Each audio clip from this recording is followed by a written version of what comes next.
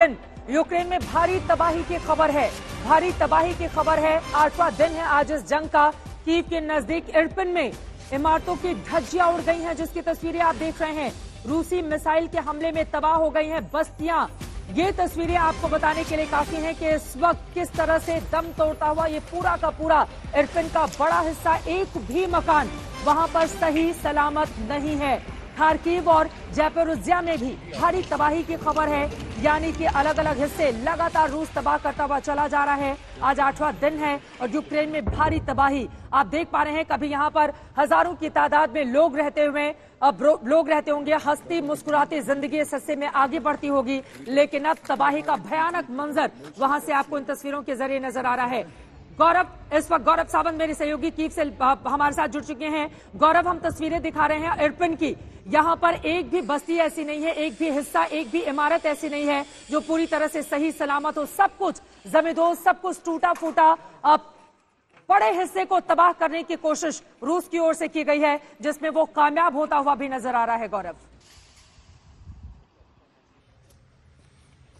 चित्रा, रूस इस समय एक रणनीति के तहत रौंदता हुआ चला आ रहा है पूर्व की तरफ़ से। जिस इलाके की आपका आप ज़िक्र कर रही हैं एक इवानकिव है एक जेप्रोजिया जिसका आप ज़िक्र कर रही हैं। जेप्रोजिया एक बहुत महत्वपूर्ण शहर है। अब इस, इसके बाद अब आएगा डेनेप्रो। जब आप पूर्व से बढ़ते हैं मारियोपोल से बढ़ते हैं तो ये जेप्रोजिया एक बहुत स्ट्रैटेजिक लोकेशन है। यहाँ पर एक बहुत बड़ा मिलिट्री गैरिजन भी है एक बाँध भी है और स्ट्रैटेजिक डिफेंसेस भी है यूक्रेन के। और उनको रौनता हुआ रूस अब आगे बढ़ रहा है क्योंकि लक्ष्य रूस का बहुत सीधे तरीके राजधानी कीव है। राजधानी कीव से कुछ घंटों की दूरी पर अब रह गई है रूस की सेना। अगर वो पूर्व की दिशा से बात करें जेप्रोजिया के को ध्वस्त करते हुए ईवान के फिर एक बहुत महत्वपूर्ण फ्रंटलाइन डिफेंस है कीव की रक्षा के लिए। और वहाँ पर रूस की सेना अभी क्रूज मिसाइल से हमला कर रही है। यानी ये इस तरह की मिसाइलें हैं कि रूस से ही ये फायर हो रही हैं और बहुत स्ट्रेटेजिकली